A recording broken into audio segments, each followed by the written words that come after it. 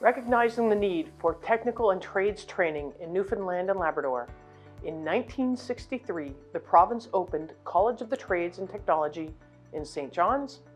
With the surge in demand for this kind of education, the college would soon be followed by a series of 18 more district vocational schools. During the next 30 years, those standalone institutions would be grouped under a regional system, and by 1992, we had five regional colleges in the province.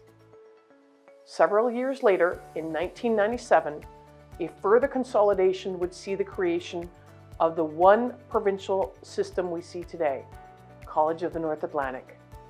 It has been 60 years since our humble beginnings, and we are still making history.